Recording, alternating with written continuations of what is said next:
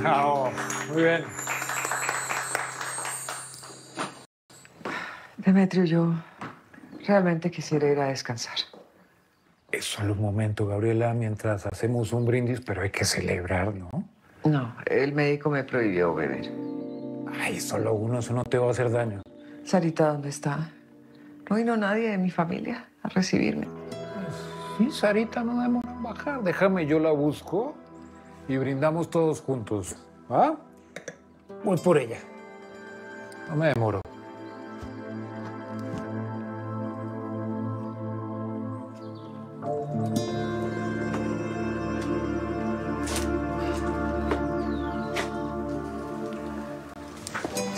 Hola, Sarita.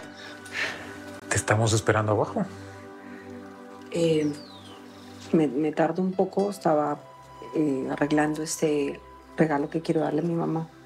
Detalle. ¿Qué es eso tan bonito? Vamos a ver. Sí, claro que sí, es un collar que le gustaba mucho, que me lo había regalado mi esposo Franco. Mm. Pues qué bonito de tu parte darle ese regalo a tu mamá, ¿no? Más sabiendo que eso es muy especial para ti. Aparte porque tú no necesitas adornarte con absolutamente nada para verte hermosa. Gracias. Y te lo digo de corazón. Eres completamente hermosa. ¿Qué haces? Sarita, Perdón. Vuelvas a hacer.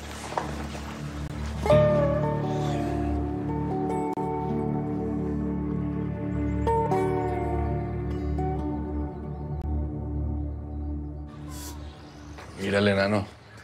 Hola, viejitos. ¿Mm? Igualito el tío Oscar. Igualito, sí. Igualito.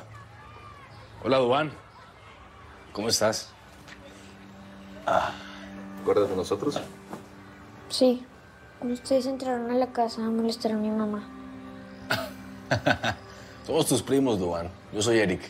Yo soy León. Somos sobrinos de tu papá. ¿Por qué no vino él? ¿Ya no quiere venir a visitarme?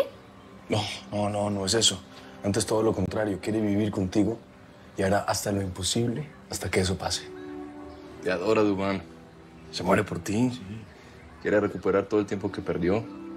Quiere darte una casa nueva, estudios, viajes, todas las comodidades que te mereces. Mira, te trajimos un regalito. Trajimos dos. Un carro. Mira. ¿Te gusta? Mira, hazla aquí, mira. Órale. Mi hermanito y yo tenemos una. Bateamos al millón en ella. Y ahora tú tienes la tuya. Una pregunta. Eh, ¿De casualidad no viste a tu mamá guardar una escopeta cerca de tu casa?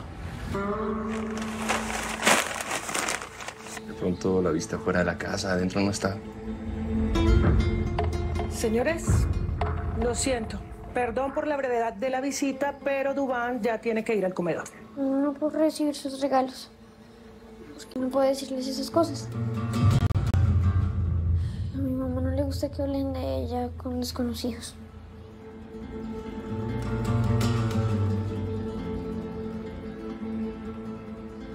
Cuídate. Permiso. Simpático el enano. Simpático. A pesar de ser hijo de esa bruja.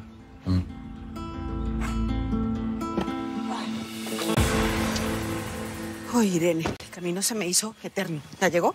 Sí, señora, hace un momento la trajeron y pues la instalé en el cuarto de huéspedes porque no está muy bien. Pues, ¿Qué habrá pasado? Dios mío, ojalá que esté bien. Los señores que la trajeron aún siguen en la casa. Muy bien, voy a hablar con ellos. Por favor, los atiende después, ¿sí? Claro que sí. Gracias, Irene. Ya tiene que descansar.